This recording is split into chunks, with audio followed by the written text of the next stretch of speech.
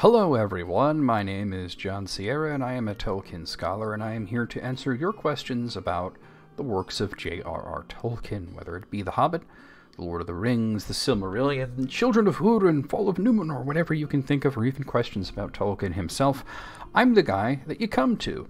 So, uh, if you want to ask a question that's going to be featured in a video, you can, of course, ask questions in a comment. But if you want it to be featured in a video, best way to do it is through Quora. Just look in the description and you will see a link to my Quora account. You can write any question you want on there. It's very easy to make an account on there. You can use your Facebook account, you could use your Google account, and then just tag me and I will get to it. And if I like the question a lot, every week, every Wednesday night, I will feature the eh, 15 or so. At this time, it's 17. I seem to be uh, picking a lot more. My very favorite questions from the past week, and I got a lot of good questions, 17 of them. And of course, if you'd like the content, definitely hit the thumbs up, subscribe, make sure the bell notifications are on because subscriptions really don't work the way that they're supposed to on YouTube. You really have to hit the bell and and you really have to leave comments too because unless you engage with the videos they even with the bell they stop showing you them. I really don't know the purpose behind that but that's just the way it is. Anyway let's get to your questions. We have a lot of great questions this time. Okay so first up uh, here's a very simple one. Did why did the elves make such a small sword as sting? Was it really meant to be a letter opener. Okay, so that, that was a joke from the Hobbit movies. Uh, it wasn't a letter opener. It, it's a dagger. It's a small dagger that that's what it would be to an elf. To a hobbit, considering that they're much much shorter, a dagger might as well be a sword, right? So Sting was, you know, Bilbo Bilbo got this after the trolls were destroyed by the sunlight, and uh, it's a sword forged in Gondolin. He named it Sting. It didn't already have a name like the other two swords, the, the larger swords that uh, Thorin took and that Gandalf took that became Thorin's sword was called Orcrist, which means goblin cleaver, and um, uh, Gandalf's sword was called Glamdring, which means foe hammer. Uh, the the dagger that Bilbo took didn't have a name. He named it Sting later on in the story after he killed some spiders in Mirkwood. He named it Sting. It was a dagger. It wasn't a tiny sword. And daggers have a use in battle. There is a very good reason to have a dagger, uh, not necessarily instead of a sword, but in addition to one. Because they could be used in extremely close quarters where swords, you need room to swing them. So here's a perfect example that is actually from one of Tolkien's stories of an elven dagger, a, a Gondolin dagger no less, being used to great effect. So I'm going to read you a passage from the book The Fall of Gondolin. Then Glorfindel leapt forward upon him, and his golden armor gleamed strangely in the moon. And he hewed at that demon, that it leapt again upon a great boulder, and Glorfindel after. Now there was a deadly combat upon that high rock above the folk and these, pressed behind and hindered ahead, were grown so close that well nigh could all see. Yet was over ere Glorfindel's men could leap to his side. The ardour of Glorfindel drave that Balrog from point to point, and his mail fended him from its whip and claw. Now he had beaten a heavy swinge upon its iron helm, now hewn off the creature's whip arm at the elbow. Then sprang the Balrog in his torment and his pain and fear full at Glorfindel, who stabbed like a dart of a snake. But he found only a shoulder and was grappled. And they swayed to fall upon the crag top. Then Glorfindel's left hand sought a dirk, and this he thrust up, that it pierced the Balrog's belly nigh his own face. For that demon was double his stature, and it shrieked and fell backwards from the rock, and falling clutched Glorfindel's yellow locks beneath his cap, and those twain fell into the abyss. So Glorfindel finds himself in this awful position. He's fighting a Balrog, and he's getting grappled. He's in close quarters, and when you're getting, you can't really swing a sword. Now, swords usually do have heavy pommels. They're used for balancing, but you could also strike somebody with the pommel of a sword, usually on their head. But it doesn't work too well when your opponent is twice your height. So what he did is he sought a dagger because he could bring it up and stab it. He stabbed it in the stomach. A very long sword is very useful in some situations in combat, but once your opponent is within your reach, you, you need something smaller. So you could try the striking, but that wouldn't have worked too well in his situation, so he sought what what Tolkien called a dirk. A dirk is a type of dagger. Somebody did try to argue with me in the comments about the dirk, uh, and because I said that a dirk is a dagger, and uh, I had to correct him because he said that a dirk is not a dagger. They're made differently. Uh, the shape of the blade is different. The way it's sharpened is different. A dirk is not a dagger. And I, I was like, well, maybe I'm wrong. I could be wrong. So I looked it up, and I looked up Oxford Dictionary. Dirk comes up as a short dagger of a kind formerly carried by Scottish Highlanders. So it very much is a dagger. It's a specific type of dagger, which was my point. There are many types of daggers, but that's that's why Sting existed for situations like that. Now there are a lot of like uh, really fanciful fan ideas that Sting could have been Glorfindel's dagger. Probably not, right? Almost certainly not, because that was in that was near Gondolin, that was in Beleriand, and the dagger, along with Glorfindel and and the Balrog, fell down into the cliff, and Beleriand's gone. It's under the waves, so it, it was it was a different Gondolin dagger. Okay, next question. This person asks, why was Smaug more vulnerable to an arrow than a sword? He, well, he was up in the sky, you know? I mean, have you ever played Skyrim? And you have a sword and the, the dragon's flying, you have to you have to find some way to get him down. Sometimes you have to just wait, or you could shoot arrows at him, you can try your dragon shouts, you, you know, but you he's up in the sky, but um, realistically, Smaug could have been killed with anything sharp as long as it hit him in that exact right spot. I spoke about it last week. Left breast, where the foreleg was thrown wide, so probably came in from the side. Um, that was the only part of his underbelly and his chest that was not armored from all the gold and silver and gems that he had slept on for so long. And and realistically, as well, would you really get that close to a dragon in his full wrath to try and use a sword on him? I mean, in a video game, it's one thing, but if you're if you're Bard the bowman, and that's another point, Bard is a bowman. He's Bard the bowman. He's not Bard the swordsman. So that was the weapon that he had.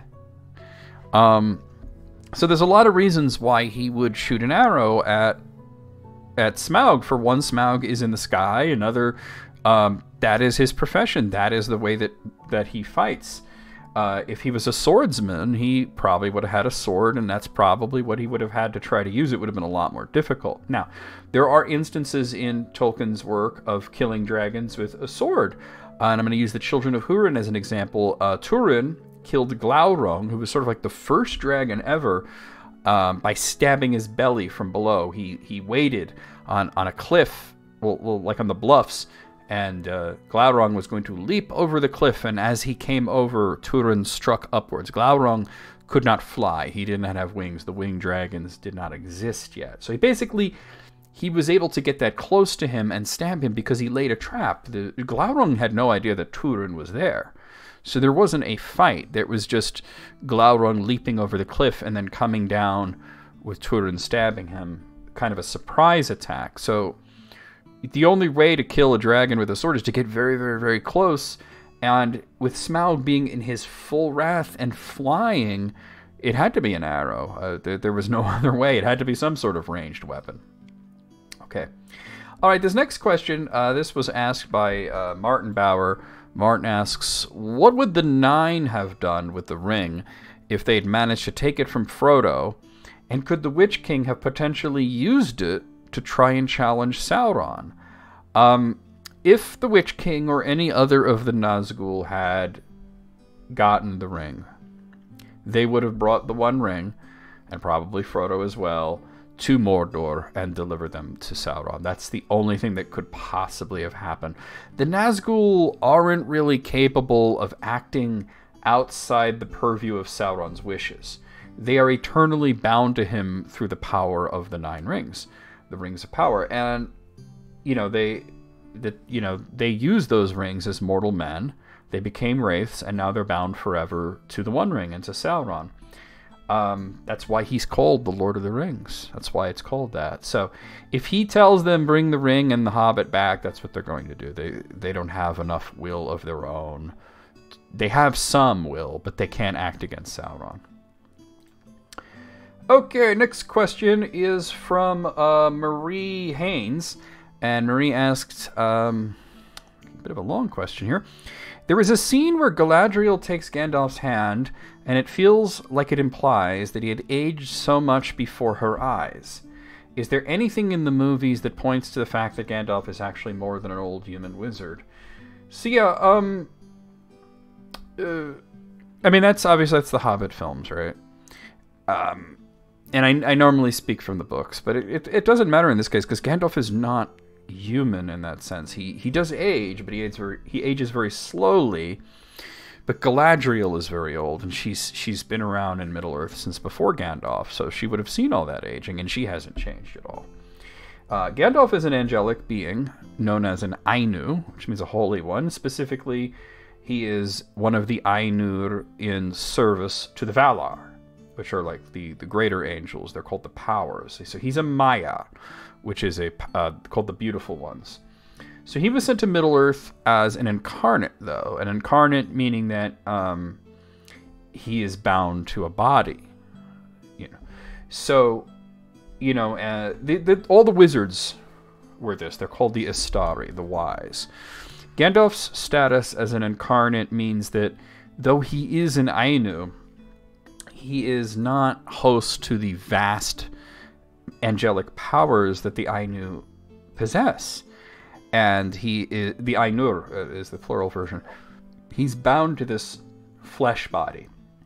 Now, normally, when an angel, an Ainu, comes, you know, to Middle Earth, or even in Aman, walks among the people and they take bodies, it's a raiment, like clothes for their spirits. It gives them shape and hue. Um, but Gandalf is actually bound to this body. He he ages. He grows tired. He has to eat. He has to drink water. He can even die. He was never young, in the sense, but uh, he ages very slowly.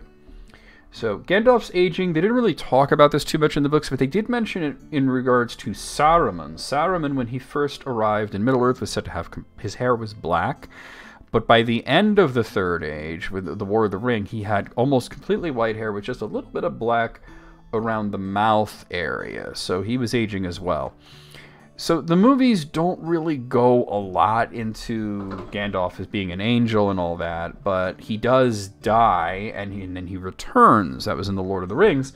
And in his own words, he says he was sent back because his his job was not done.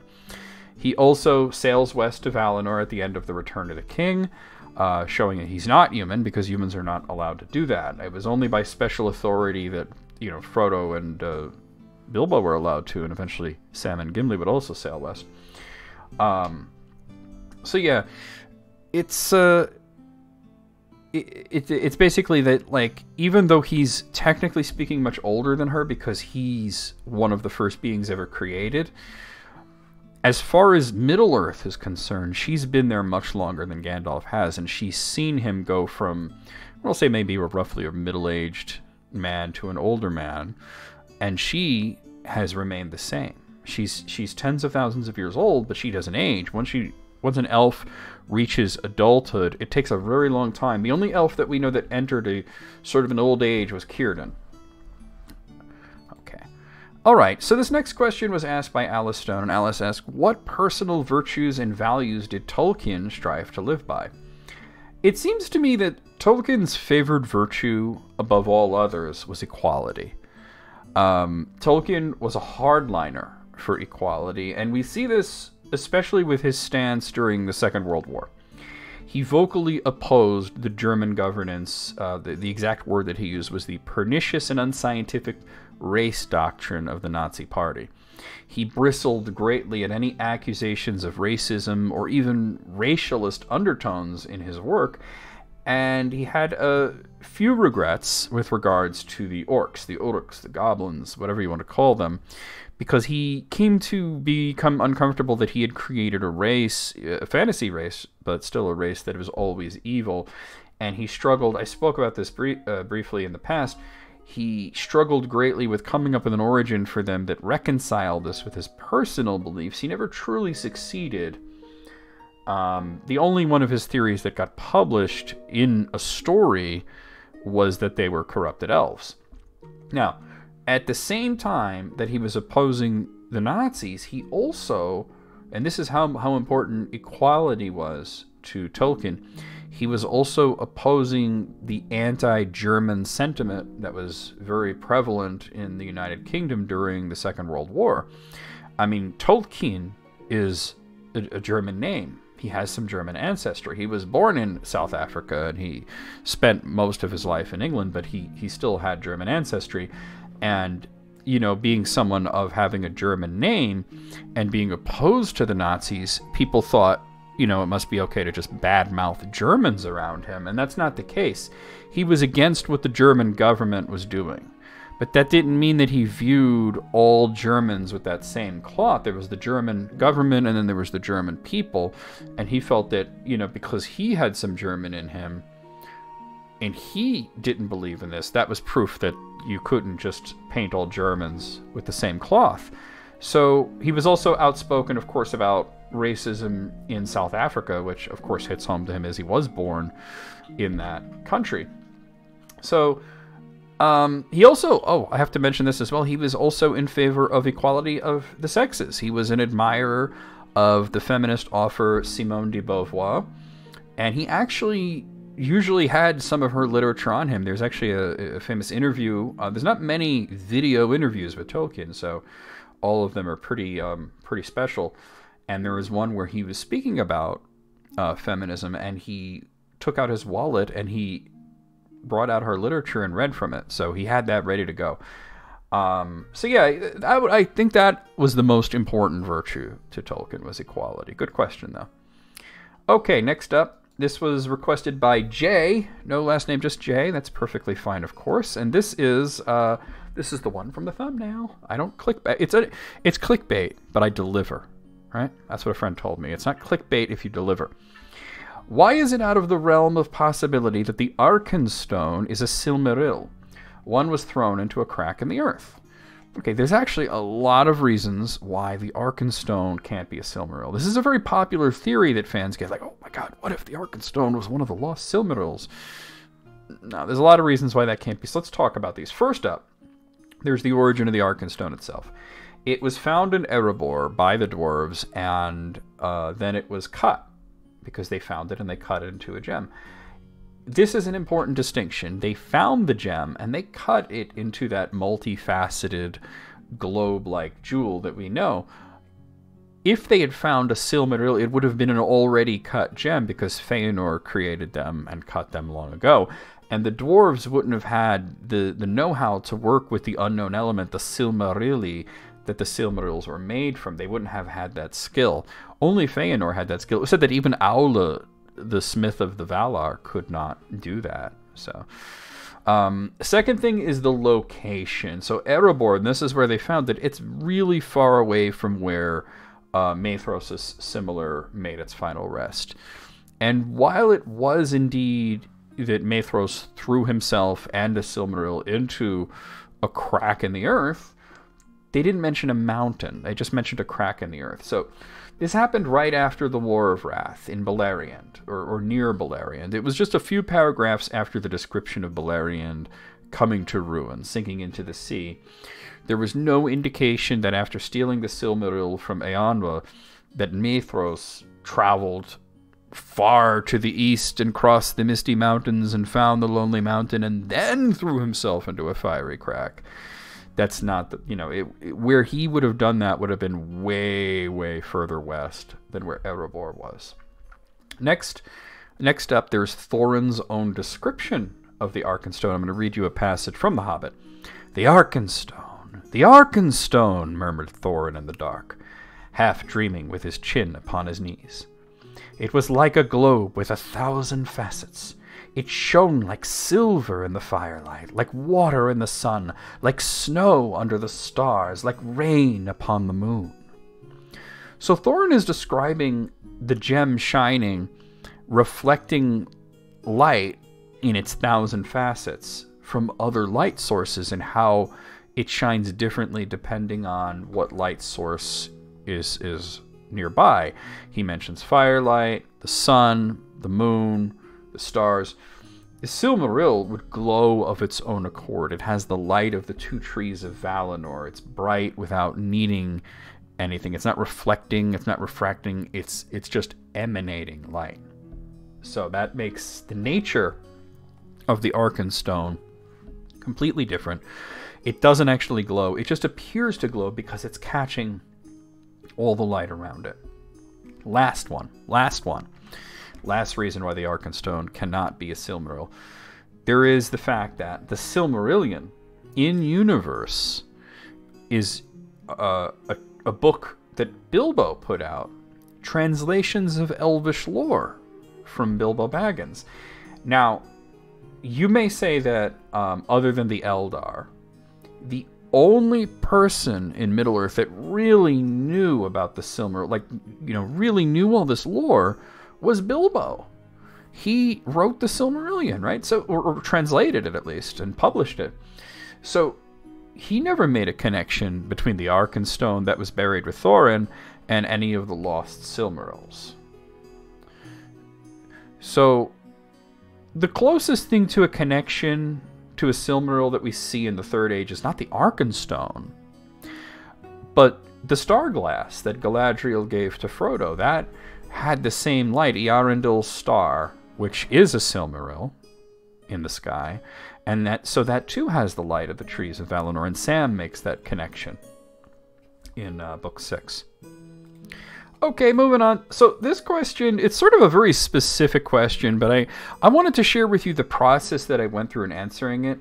Uh, so this is requested by someone who I assume has to be named Matthew. It was it was submitted um, anonymously, but the question is how to say Matthew in Quenya. Um, and this person notes that they had tried several translators and they don't know what is doing correctly. Those translators, if it doesn't recognize the word that you're putting it on with a proper name, it almost never would. It's going to assume that you spelled something wrong and it's going to give you the translation of a word similar to what you typed in. So to come up with a true because Matthew's not really a word. It's a it's a word, but it's a proper noun. It's a name. It's a given name. So to give the Quenya translation for a given name, we have to look into the etymology of that name. So, um, let's talk about Quenya. So the root, or, or, how we get to Quenya. So we're starting with Matthew. The root word of Matthew is Matityahu, which is Hebrew, and it means, uh, depending on the grammar, the gift of God or or God's gift. So if you break this down, we can say uh, if we if we know the word for gift is Anna, right? Anna is Quenya for gift. Uh, Anna is also one of the Feanorian letters. It's the, the 23rd letter, but that's just the name of the letter. But Anna as a word means gift. So then we so like how do we come up with the God part? So there's sort of there's two names for God in Quenya. There's Eru and there's Iluvatar. Why are there two names? Because they're just two different phrases that both pertain to God. Eru means he that is alone.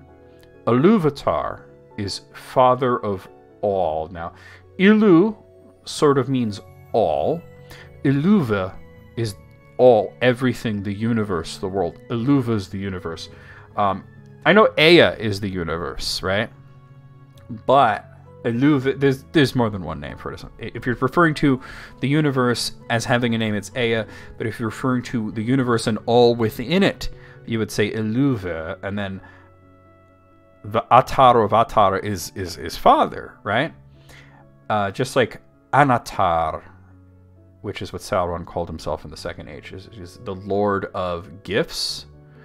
Um, Vatar suggests father a little more than Atar is sort of like Tar is Lord. So I think that putting it together, you can sort of you could choose Iluvatar or you could choose Eru, right? Um, and I saw other people that were asking this question and they came up with Eruana. But I think it Eruana does not sound particularly it doesn't sound elvish, right?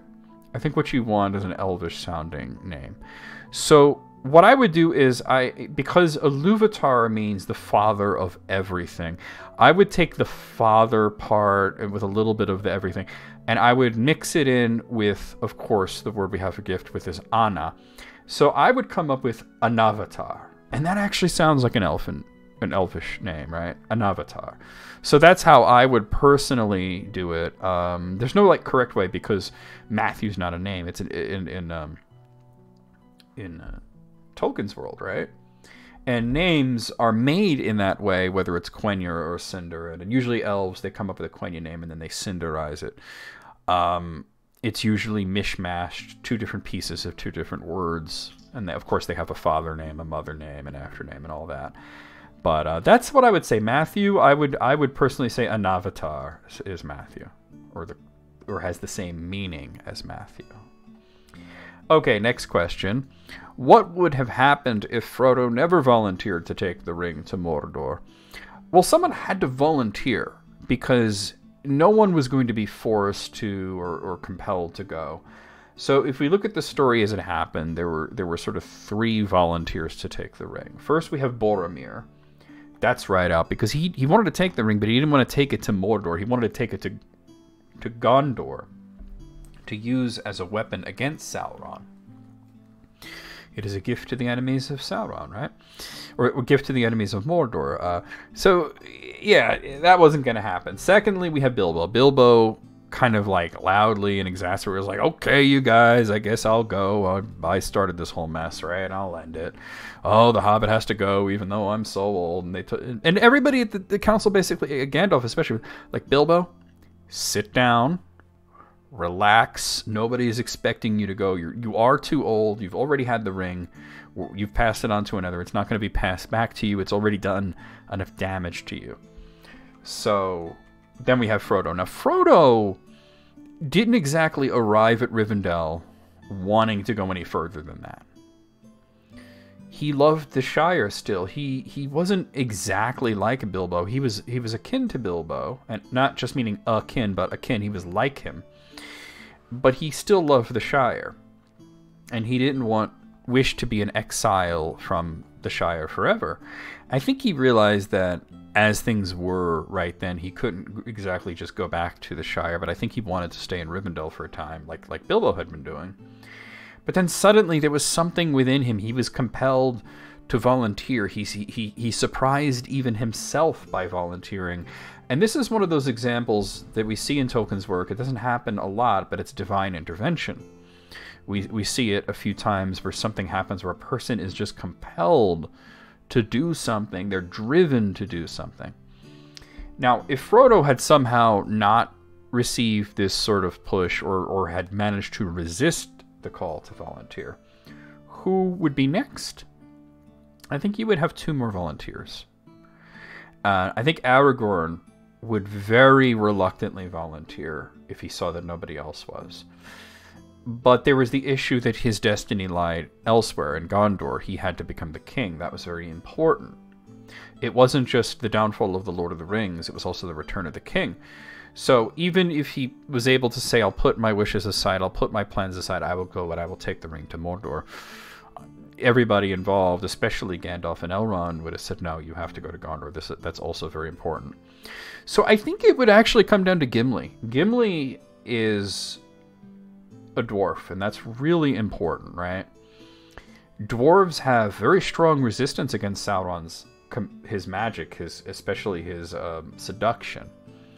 They were not really swayed by their rings of power, the seven rings. So he would make a really good ring bearer, right? However, I think that the quest would fail. It had to be Frodo. And I'll explain why. Because even though he was that strong, and he could make it to Mordor, and he could resist the temptation to use the ring, eventually he's going to get there and he's not going to be able to give it up because that's what happens to everybody. Nobody could willingly destroy the One Ring. It was destroyed through a happenstance. Well, first of all, there was a little divine intervention involved, as I mentioned. There is that, but there was the happenstance of Gollum being there, and Gollum was there because Frodo had shown him mercy earlier. He wouldn't kill Gollum, even though Gollum certainly deserved to die. He wouldn't even tie him up and leave him. He took pity on him. And it's it shows Frodo's character development because in the beginning of the book, um, Frodo's like, How could you pity this guy? And Gandalf said, I've seen him. And that's really important because once he sees him, he's able to pity him. And part of it is also that Frodo's a hobbit. Gollum is essentially a hobbit. He, or at least he used to be a hobbit. He's become something much more base and foul, but he still was born a hobbit, right? Gimli's not going to be able to identify with Gollum in that same way. I don't think he would outright slay him, but I think that he would tie him up and leave him. He he would not allow himself to be waylaid like that, especially if he was traveling alone, although I do think that he probably would have had Legolas with him. But nobody was going to be able to actually give it up in the end, and without Gollum there, it just wasn't going to happen. Like it had to be Frodo. So I think that's what would have the quest would have failed if Frodo had not volunteered as the basic short answer. But I think that the ring bearer probably would have been Gimli. Okay, fun question though. Okay, so this next question is from Pasha Besh. I hope I'm saying that right. If Melkor had not fallen, would he have been appointed as High King of Arda, or was the role always Manwë's from the start? I don't believe that Melkor would have been the king of Arda any more than I believe that there's any scenario that could arise where he doesn't fall. Um, before the fall, even before even Ainulindalë, before the music, Melkor was said to be the mightiest among the Ainur, but he, that's not everything. His brother Manwë was dearest to Iluvatar. Now, Melkor was privy to the majority of the thoughts of Iluvatar, but Manwë understood Iluvatar's purpose better than anyone else. So that's why he was favored. That's why he was destined to be the king of the breath of Arda. Melkor was greater in might, not in importance. It was ever the thought of Iluvatar that Manwë was going to be the king of, of the of the whole planet, and, that, and that's why he appointed him that role. What was Melkor's role going to be is a, is a, is a sort of a common debate. Personally, I think that um, although Melkor certainly had his his free will, and he was going to choose to fall, and that was something that he chose. I don't want to say that he was destined to fall, right? Because Tolkien wouldn't like that whole destiny thing, but if you think about the way that Iluvatar is and where he dwells in the timeless halls, outside of time, the concept of time is not there. So when he looks upon the world, he might be seeing the beginning, the middle, and the end simultaneously. He might already know that Melkor is going to make that choice. It doesn't mean it's not a choice. It doesn't mean that Iluvatar created Melkor specifically to be the bad guy. But I think he knew that that was going to happen because he saw it. Uh, but that's sort of another discussion. All right, moving on to the next question. This is a this is a fun one. The Oski Bosky asked me, uh, uh, "Does any movie maker have the rights to the Silmarillion?" We are aware that Amazon and Peter Jackson have not. So no, unfortunately not. Uh, the the only rights that have ever been sold to Tolkien's work uh, are movie rights and television rights, specifically regarding the Third Age. Um, the Lord of the Rings, and The Hobbit. Even the Rings of Power, as you said, Amazon doesn't have rights to the Silmarillion. They have rights to The Hobbit and The Lord of the Rings, and when you see in the credits it says based on The Lord of the Rings and its appendices, because they're telling a story that is sort of told through the appendices, just without all the extra added detail uh, that the Silmarillion gives you. So they're try- they have to tell it as a broad stroke story. So nobody has the rights to the Silmarillion, and I went over to the Tolkien Estates website and in their frequently asked questions section, it said that they have no plans to produce or allow to be produced any motion picture or television show based on the Silmarillion or any of its related stories. They do mention they are aware that this is something that a great many people want, that, that, that it would make many Tolkien fans happy. They just don't have plans for it at this time. So I think, and this is not really a wild leap, that the main fear of ad- adapting the Silmarillion and its works lies historically in the book itself. The Silmarillion is not an extremely lengthy book. Do I have it handy here? Oh, that's the. See, that wouldn't do. It's it's sort of like way out of the way too, but that's the soft. That's the paperback. I don't think I can reach it to. Uh, let me let me see if I can reach it without having to move the chair and everything. Oh, that's really no. I'm not going to be able to reach that without getting up, and that would just make the video longer. But it's not a long book. It's less than 400 pages, right? And um, if you think about that, that's shorter than the Fellowship of the Rings. That's shorter than the Two Towers, and it's it's even shorter than the Return of the King proper, if we're not counting the appendices. It's it's shorter than that. Um, the issue is that in that short length, at uh, nearly but not quite 400 pages, there's an insane amount of ground that's covered. And a lot of it is kind of almost glossed over. It's told very quickly. The Silmarillion is not really a novel per se, but it's a collection of lore and stories. It's what Bilbo called translations from Elvish lore. Trying to adapt the entire thing into a single film would see characters appear for just one scene and then vanish forever because they're mortal and they have to go through many, many, many years. There would be scores of characters that would just come and go, and it would be almost impossible for a viewer to keep track of everyone. The Silmarillion is a lot of information that's rapid fired at the reader at a very high speed, which is why many say that it's a difficult read. Now, let's say we do it as a series, right? Let's break it down into several stories. If I was the one with all the money in the world to make a proposal to the Tolkien estate for a Silmarillion film series, this is this is what I do, and I actually laid this out here. Let's see. It would be seven films, right? Seven films, and I even have titles. So the first one, The Music of the Ainur, a Middle Earth Legend we get the creation, the migration from Middle Earth to Aman, you know, the awakening of the elves, they all go to Aman, the War of the Valar, the creation of the orcs, the Noldor, their kingdom in the Undying Lands, and then the two trees. And I would end it with Melkor, Feanor, and Fingolfin leaving Aman, going to Middle Earth. The Silmarillion, a Middle Earth saga. This would be the wars in Beleriand and I think you know you'd have to focus it on Feanor and his sons and the oath. I would prefer to end this, we'll say, after the aftermath of the third kinslaying, with Earendil sailing to Aman and uh, treating with Manwë to intervene. Then, the third one, we would have the Children of Hurin, a middle-age tra- uh, middle-age, uh, the Children of Hurin, a Middle-earth tragedy, Obviously, we take this from the novelized form, right?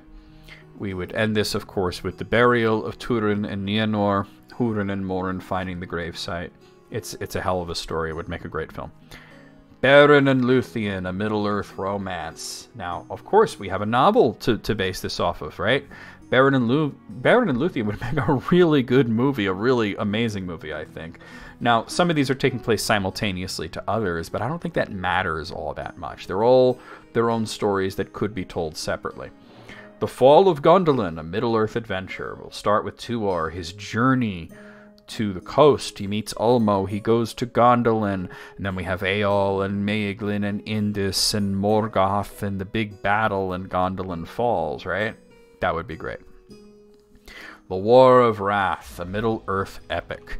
So all of the previous storyline. This is like the the Avengers Endgame, right? I wouldn't say that to the to the Tolkien estate; they would get pissed off, right? But this is like that. Everything comes together. It coalesces into the final confrontation with Morgoth, the sundering of Beleriand, the final disposition of the Silmarils, and you know it would leave us with well, Sauron's still out there though.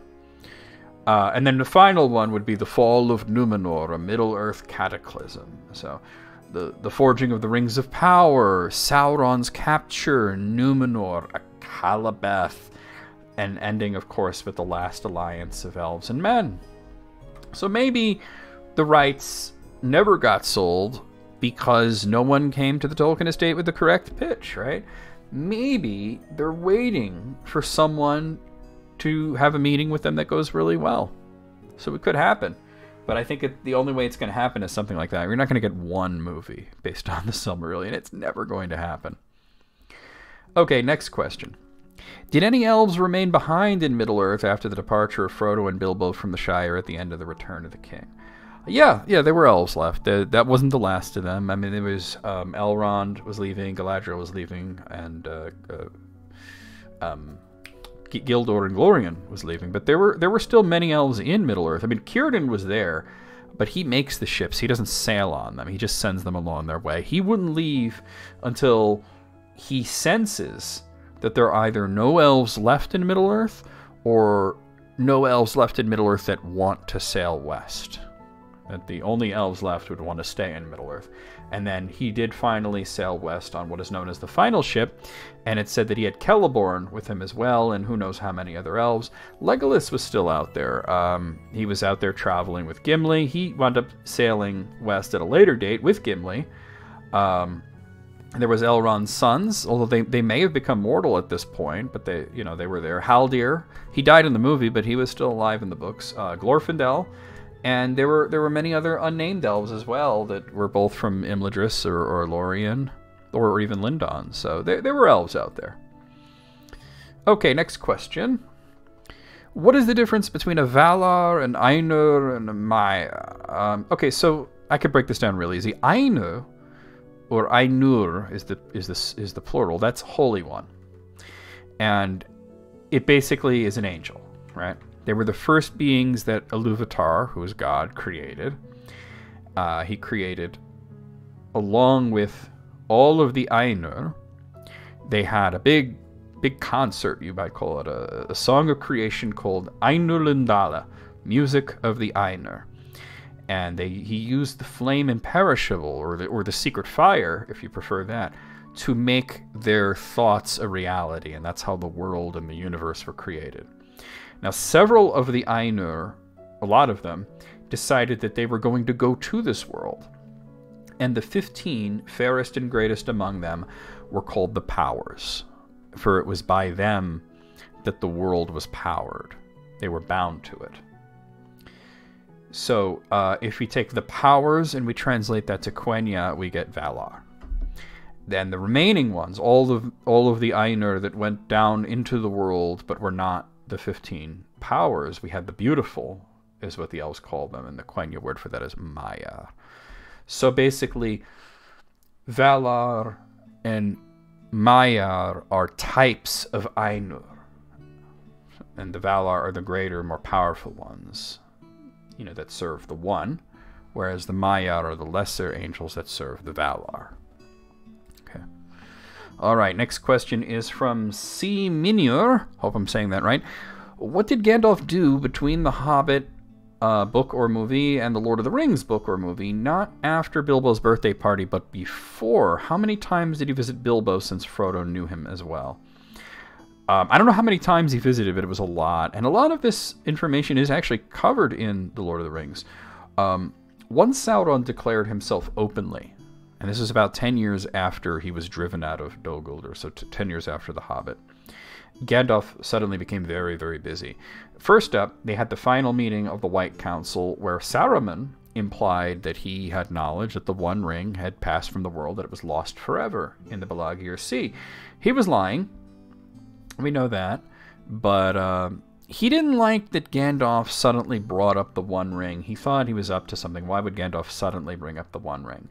So Gandalf was traveling to the Shire many times, and Saruman started spying on him because he wanted the One Ring for himself, and he was already kind of looking for it.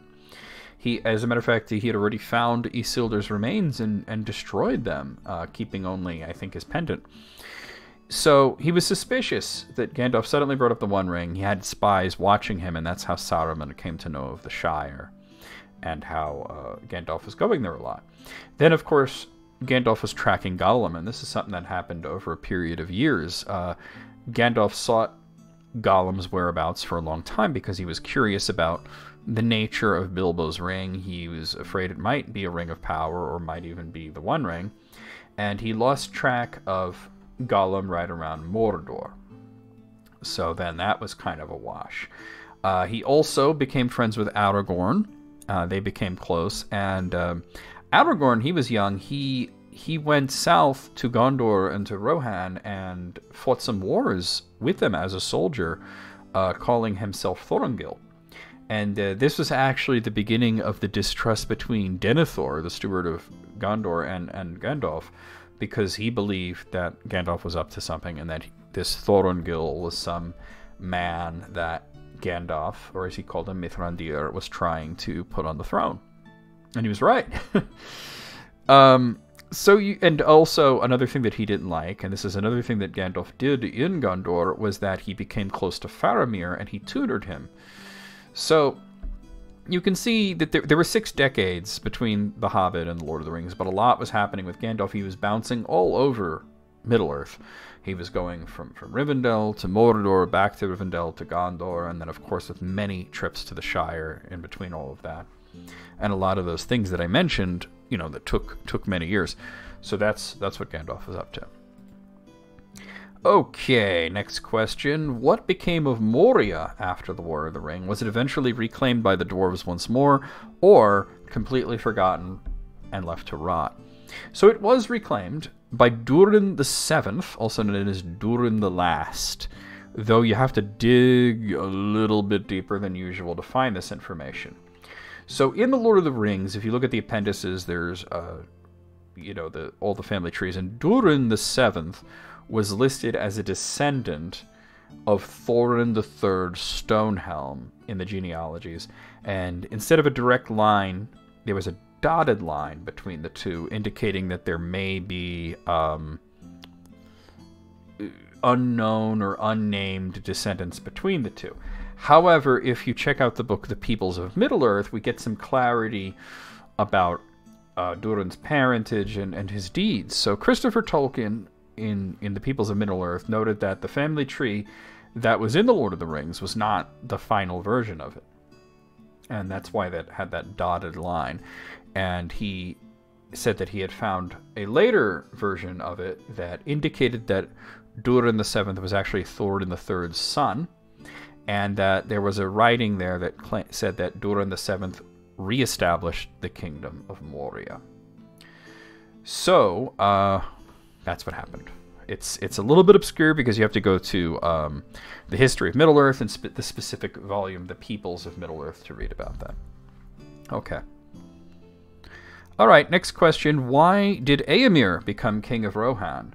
Well, it is likely that no matter what, when Theoden died, Eomer was going to become king. Um, but it did show in the book that Theoden did specifically endorse Eomer as the king of the Mark. Theoden did have a son, Theodred, but he died. He was next in line to be king, but he died when Saruman attacked the Westfold. Uh, that left Theoden childless, but he had been raising his nephew Eomer and his niece Eowyn. So Eomer, you know, being closest in king to the king, he he's the uh, the elder of the two, and Rohan didn't have ruling queens.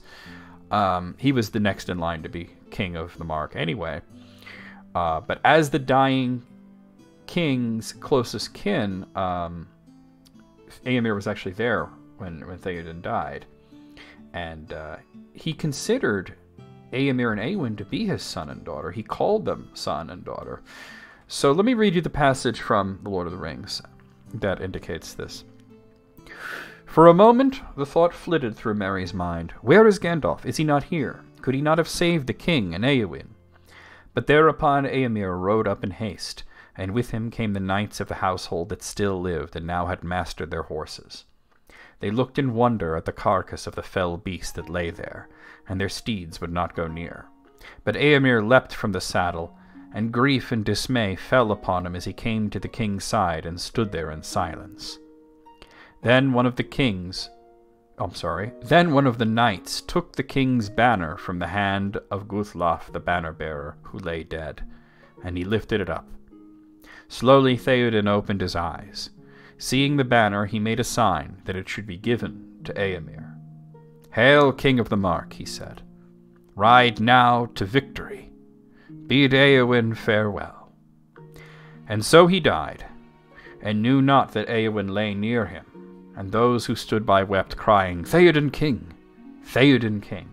So you could see with his his dying breath, his last words were to specifically endorse Eomer as the king. Not that he really needed to do this, but I think he felt that he should. Okay, uh, next question. Did Gandalf try to talk sense into the Balrog before attacking it in Moria? Yeah, in a way he did. In a way he did. Um, Gandalf makes a speech when he faced off against Durin's Bane, and it kind of sounds like he's casting a spell. It happens very quickly, especially in the film version. But it is, in fact, Gandalf communicating several things to the Balrog. Gandalf wants the Balrog to know who he is, that he is aware of what the Balrog is, and that he is not afraid, that he is the greater. So he says, You cannot pass. Gandalf is setting a boundary. He's telling the Balrog he, that the Balrog is incapable of getting past him. He says, I am a servant of the secret fire. Gandalf is identifying, identifying himself as an Ainu who serves the flame imperishable, the one who stands alone, Eru Iluvatar. Gandalf says this in a fashion that the Balrog will understand, but the Fellowship of the Ring will not. They'll think he's just chanting a spell or something. He says he's the wielder of the flame of Anor. It's a boast of power. Anor is the Sindarin name for the sun. The Balrog is a being of flame. Gandalf is basically saying, My fire is hotter than yours. My fire is greater than yours. My fire is brighter than yours. You don't stand a chance. He also says, The dark fire will not avail you, flame of Udun. This is a refutation of the Balrog's power, of course, but also a note that Gandalf is not just some fool who doesn't know what he's up against. Udun is a Sindarin word that basically means hell, and it's also the Sindarized form of the Quenya word Utumno, which was the name of Melkor's fortress in Middle Earth, his first fortress. So he's basically saying, I know what you are and what you're capable of. Go back to the shadow. So Gandalf tried his best to tell the Balrog to give up, to try and talk it down. But of course, that didn't happen. And I think Gandalf knew it wasn't going to happen on some level. But um, we know that the Balrog did hear him and did understand him because uh, he took the Flame of Anor thing to heart. Because it is said that after Gandalf's speech, the Balrog dimmed its flames and expanded the shadow because he it saw Gandalf and realized what he was up against and realized that the flame was not going to work on him. Now, a lot of people, whenever I speak about the flame of Anor referring to the sun, I think it's pretty cut and dry. But a lot of people were under the assumption that he was referring to the ring that he held, the ring of power, the one of the three uh, elven rings called Narya, the ring of fire, and that he was basically saying, "Hey, look, I got the ring of fire." Um, the Balrog has been under Moria since the first age. He has no idea about the rings of power. He does not know what that is. It means nothing to him. Anor is the name of the sun. So, uh, yeah, that, that's definitely. Gandalf wouldn't also reveal that he has a ring of power either. He only showed it at the very end of the story after it had lost its power and the One Ring was destroyed. Uh, Frodo did notice that it was on his finger. It was on his finger the whole time, but it was invisible.